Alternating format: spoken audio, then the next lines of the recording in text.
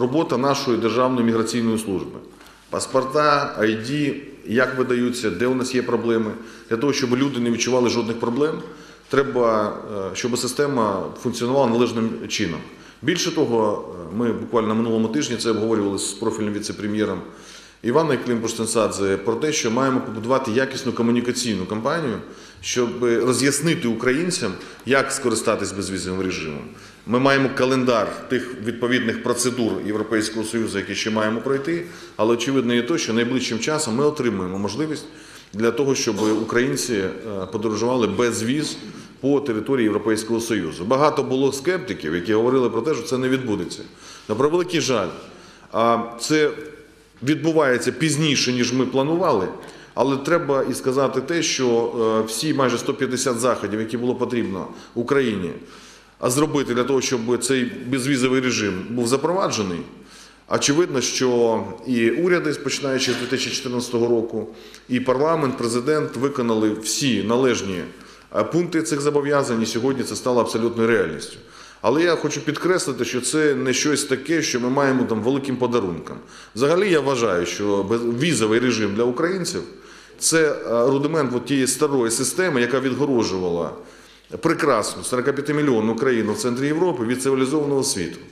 І насправді те, що ми розпочали непростий, але історичний рух для того, щоб повернутися до європейської родини, говорить тільки про єдине, що такими кроками ми зробимо все залежне, щоб українців у кожному куточку світу поважали, щоб ніхто нас не вважав людьми іншого сорту. Це є теж принципово важливим, тому ми маємо зняти всі бар'єри, які у нас є, і е, рухатись достатньо динамічно, в тому числі і проводячи необхідні зміни всередині нашої країни. Тому що це саме головне, що ми маємо зробити. Маємо віддати належне українському народу і нашій державі. Прекрасна країна, прекрасні можливості. Ми маємо стати по-справжньому сильними і незалежними.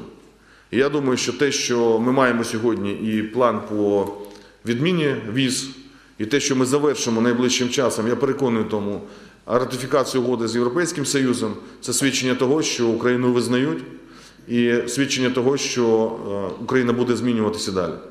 Тому я би хотів, щоб і ми сьогодні оцінили готовність самої системи.